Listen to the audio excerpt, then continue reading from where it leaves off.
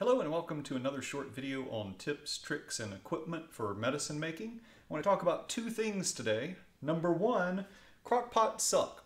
So crock pots uh, um, are frequently used in medicine making as a, a, heat source, but they're difficult to dial in the correct temperature. Uh, this crock pot doesn't even have a warm setting, it just has a low and a high. And uh, low and high are the same temperature, it's just the low takes longer to get there than the high. Both of them cap out at around uh, 208 to 212. So some crock pots will slightly boil. Um, most will come close to it.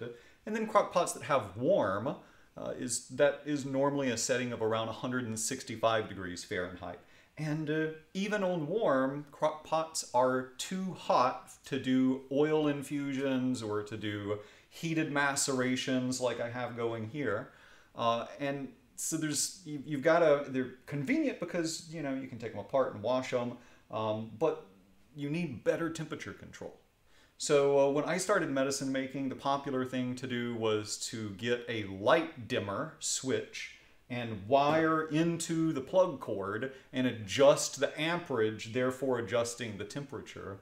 Um, and I did that and it works, but it's a, a little iffy and uh, weird. And, you know, there's this like homemade electrical thing uh, that is near uh, whatever is in your crock pot water or oil or anything.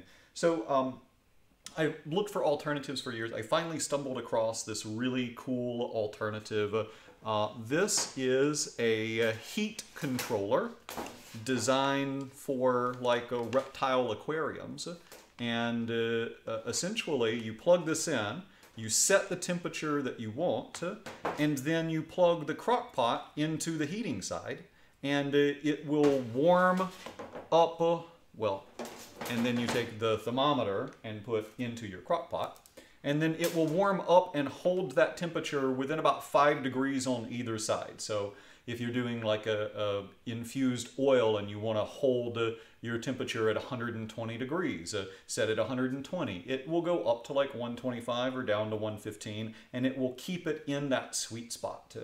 Uh, you can do that. I'm doing a, a hot ethanol uh, um, maceration right now just to speed up the extraction process, holding temperature at around 110 degrees on the Solomon Seal tincture that I need that I need quicker than the three weeks it would take for a standard maceration.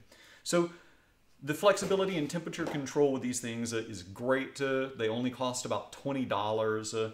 Uh, you can hook hot plates up to them, crock pots. They you know, I, I buy my crock pots uh, at thrift stores for three or four dollars uh, and then turn them into sensitive uh, heat holding medicine making equipment with a few uh, additions. And I wind up coming out a lot cheaper than the more expensive crock pots like the, the newer instant pots that uh, you can dial the temperature in. So, uh, really great piece of equipment. The other thing that I encourage you to try is uh, instead of doing a water bath or an oil bath, uh, use aluminum beads. Uh, these are recycled aluminum beads. I was inspired by a company that makes a product called Lab Armor, and uh, they're perfectly round aluminum beads that you can use uh, in, uh, in the lab instead of a water bath. Uh, so I've been using them in my crock pots and turkey roasters uh, and in some of my bigger water bath, uh, uh lab water baths as well for several years now. Aluminum conducts uh, heat really easily. Um, I've got like 20 pounds here, so I put a small layer in the bottom of my crock pot to put my jar or jars in if you're doing multiple different oils at a time. You just label the jars and you can stick multiple in. And then I dump these aluminum beads uh, around it to stick my uh, thermometer from the heat controller you know towards the top. If you go towards the bottom then uh, the overall temperature won't be reflective of what you set it at but you know stick it towards the top uh, and uh, turn it on. Then you get even heating uh, throughout the kind of aluminum bead bath and uh, your cleanup is a lot easier. So many times when doing water baths, you know, you take your jars out uh, and they're cooling and you forget that you've got it there and you come back the next day and everything's all icky and slimy and gross. Uh, or you do oil baths and you never get that smell of burnt oil out of your, um, out of your crock pot. Uh, I think these aluminum beads are, are really handy. If you check on eBay under um, recycled uh, aluminum beads or recycled aluminum bullion beads, uh, you can uh, often find these for, I don't know, 10 pounds for like uh, 20, 30 bucks. Uh, and that 10 pounds is more than enough for a standard size crock pot. So there's two tips uh, to make your medicine making more efficient, uh, clean up a little bit easier, and, uh, um, and a little bit more accuracy with your heat control. I hope uh, that's been helpful, and I hope to see you in another video.